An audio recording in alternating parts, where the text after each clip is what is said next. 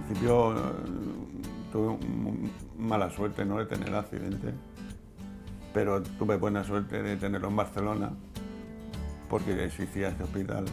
Entonces ya quiero decir que hace, no sé, 40 años o 45 que abrieron la unidad de lesionados medulares y yo que gracias a eso estoy aquí, si no, si me hubiera pasado en cualquier otra parte de España, creo que no estaría aquí.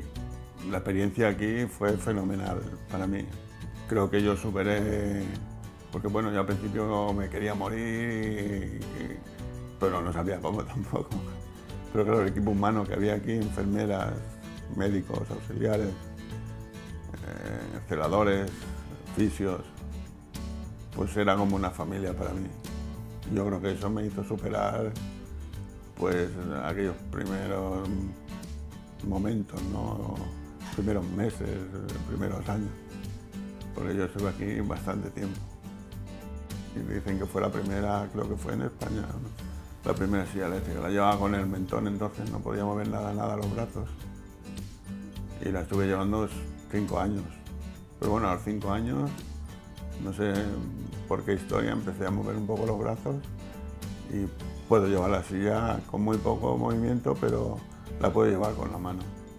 Bueno, yo lo que creo que ha de tener claro una persona que tenga un accidente es que no sabe cobijar en la familia.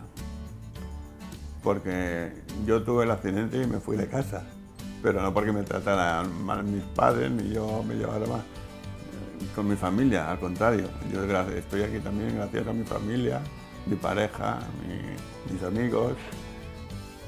Pero yo pensé que, que el accidente no era un problema de, mi familia, era un problema del gobierno o de la administración. Entonces decidí que no iba más a casa. En esta vida nos necesitamos todos. Yo quizás necesito más que tú, pero tú necesitarás otras cosas. Y entonces lo importante es querer vivir y querer vivir con dignidad.